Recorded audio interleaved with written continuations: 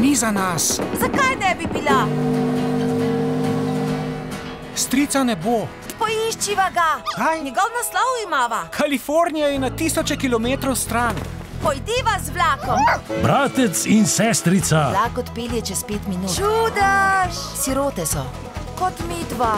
in njun novi prijatelj. Ne more govoriti. Njegov pogled pove vse. Nasmejal si se, zdaj smo definitivno prijatelja. Pardon, Prekleti smrkavec. Prečkajo divjo mejo, da bi našli nov dom. Bi jih lahko božali samo minuto. ne, to ni dobra zamisel. Ne, vlak! Pa sem ti rekel, da to ni dobra zamisel. Saj se ne bo zgodilo nič več slabega. Vlak ni problem. Zlahka ga bomo zauzeli.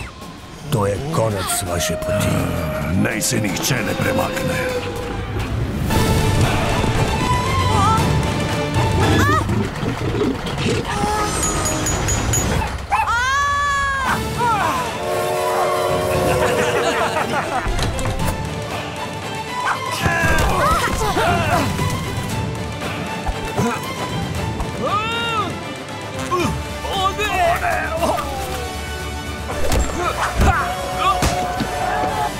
No, daj, ulovi me!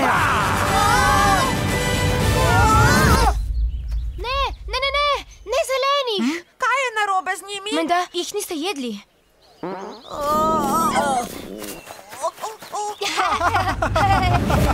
Otroci divjega zahoda.